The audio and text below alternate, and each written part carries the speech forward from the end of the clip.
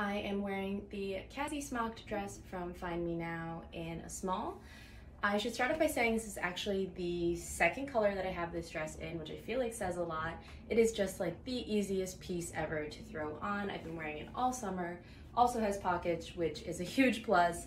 Um, but I particularly love the kind of Crayola crayon inspired cerulean shade of this dress. I think it would be really easy to wear all year round. In the summer, it's like bright, so you can put fun accessories with it, but also you could easily throw a turtleneck on under this in the colder months and wear it all winter long with some boots and like a nice piece of outerwear. It's so comfortable, it's so airy, it's stretchy. I love a smocked bodice as well. And it's just one of my favorite dresses in my closet easily.